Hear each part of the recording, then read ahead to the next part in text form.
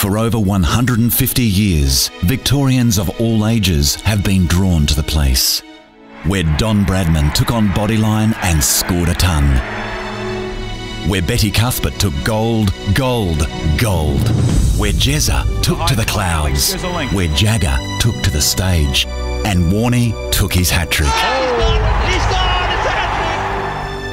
The place that once stood at the edge of a colonial town and is now the beating heart of a great cosmopolitan city.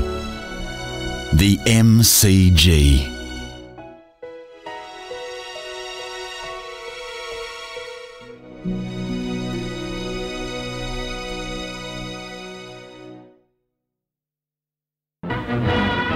My earliest recollection of the Melbourne Cricket Ground was back in 1936 when my brother, who was 10 years older than me, brought me to a cricket match here. I remember it was a very, very hot day.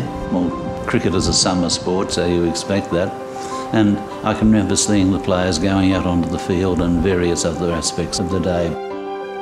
I've been very, very lucky that I've been able to pursue my interest in cricket and football, working in a place that I consider to be almost the, the cathedral of sport in Australia. Today, the MCG is one of the world's greatest sporting arenas. The magnificent Ponsford, Olympic and MCC members stands, completed in 2006, have provided a perfect complement to the soon-to-be refurbished Great Southern Stand. The MCG delivers a breathtaking experience for all those who cheer from the stands or tread upon its hallowed turf. It was on this hallowed surface in 1877 that Test cricket was born with Australia's shock 45 run victory over mighty Mother England. A margin that, amazingly, was repeated 100 years later in the Centenary Test. It's also where our young country stepped onto the world stage for the first time, hosting the 1956 Olympics. And where millions of fans have witnessed 100 grand finals since 1902.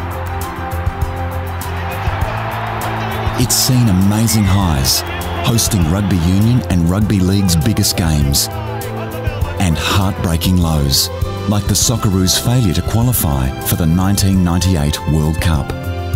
But through it all, the MCG has always done us proud, just as it will continue to do into the future. Well, just to look around this place bring, it brings back a lot of uh, memories.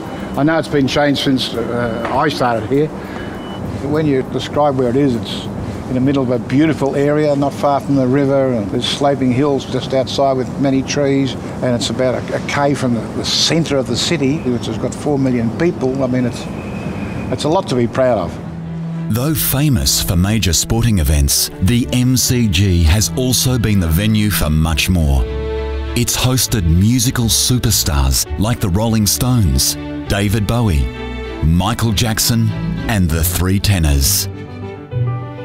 And devotional leaders like Billy Graham in 1959 and Pope John Paul II in 1986. It even played its part in the Allied war effort during World War II, becoming a base for the US military. Today, the MCG offers facilities and technology that make it capable of hosting almost any kind of event. My very first memory of the G is coming to see Carlton play as a kid was something that, as a Melbourne person, you grow up knowing the G, feeling like it's part of you and feeling like it's part of your family. So to actually walk through the doors and come and sit down and, and watch your team play, I remember was a fantastic feeling. Magnificent as it is, the MCG is more than just a great stadium. It's also a great tourist destination and a wonderful place for locals to have a day out. Every year, it attracts thousands of visitors for MCG tours and the National Sports Museum. It's also a unique location for corporate hospitality, on game days or on any day at all. But no matter what you come for, the footy, cricket, rugby or soccer, rock and roll or religion, or just a kick on the ground before the game, the MCG is a rite of passage for every Victorian. Because when you're at the MCG, you're in the place that's been the living, breathing heart of Melbourne for over 150 years.